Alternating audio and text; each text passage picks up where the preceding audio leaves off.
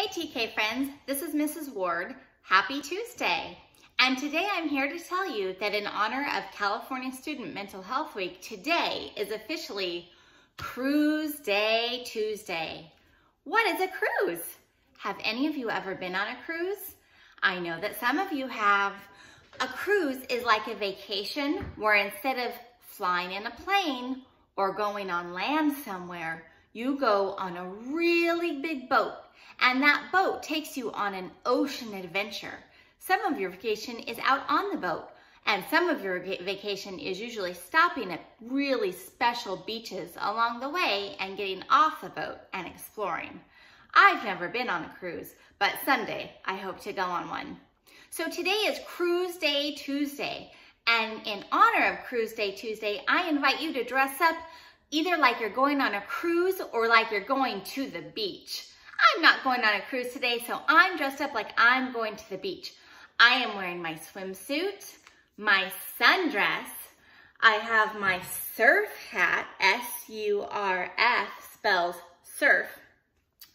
And I have my, oh, my beach towel, because after I get out from swimming at the beach, I always want to have my beach towel, or I can lay on it while I'm at the beach.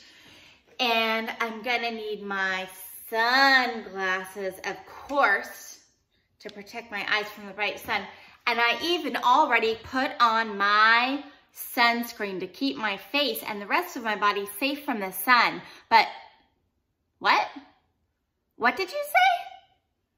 Did you say I didn't do a very good job putting on my sunscreen? What's wrong with my sunscreen? I don't see any Oh. Oh yeah, okay. I didn't do a very good job rubbing it in, did I? Where, where do I need to rub it in better? Oh, over here? Oh yeah, okay. If I leave my sunscreen on like that, I'm gonna have a pretty funny tan when I get home, huh? I better rub it in better. I don't wanna have stripes on my face after my day at the beach. Okay, I'll rub it around, rub it around. There we go. Is that better?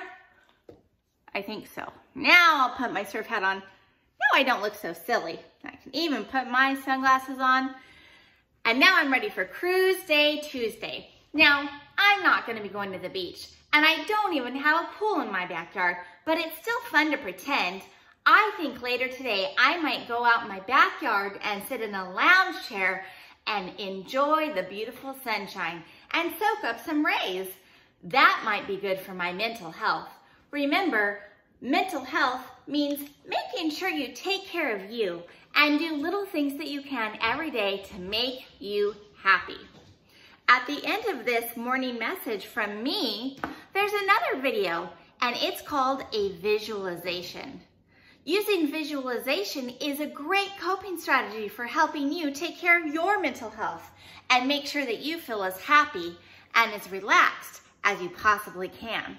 So in the visualization after my message today, you can close your eyes and relax and use your imagination to pretend that you are lying on a beautiful beach, maybe in Hawaii, maybe in the Bahamas, maybe Tahiti, anywhere your imagination can take you and you can do some deep belly breathing. Remember, we practiced that in one of our second step videos recently, where you breathe in through your nose and breathe out through your mouth.